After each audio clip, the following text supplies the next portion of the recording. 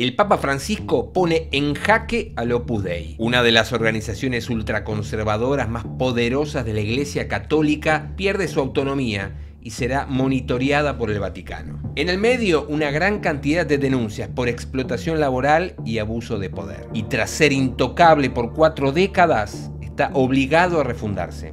¿Qué implica la medida del Papa? El Opus Dei es una de las instituciones más nuevas de la Iglesia Católica. Fue fundada en España en 1928 por José María Escribá de Balaguer y hoy en día está presente como la obra en 68 países del mundo con 93.000 miembros, de los cuales 30.000 están en América del Norte y América del Sur. Hasta este 2022 era una entidad al frente de la cual había un pastor llamado Perelado. Podía ser obispo que era nombrado por el Papa.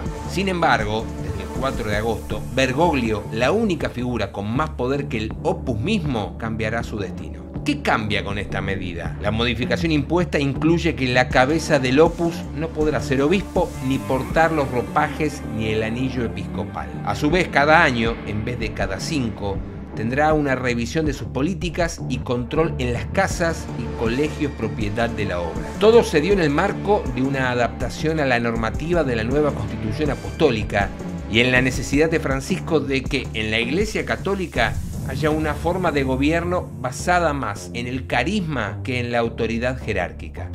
¿Qué significa este cambio?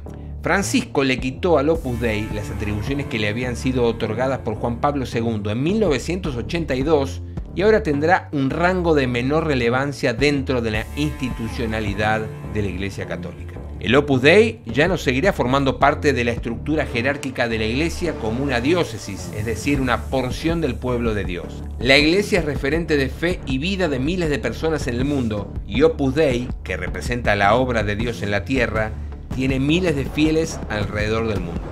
Opus Dei y el poder en Argentina.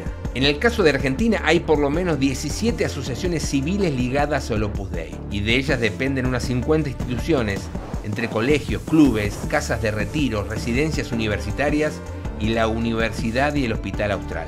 Es una orden masculina, pero admite mujeres que son las numerarias auxiliares que asisten a los sacerdotes. Las denuncias. Nuestro país, junto a Paraguay, Uruguay y Bolivia, fue noticia en 2021 cuando 42 mujeres denunciaron a la organización por explotación laboral, abusos de poder y de conciencia entre 1974 y 2015. Se constató que no les pagaron nunca y su tarea era una ofrenda a Dios.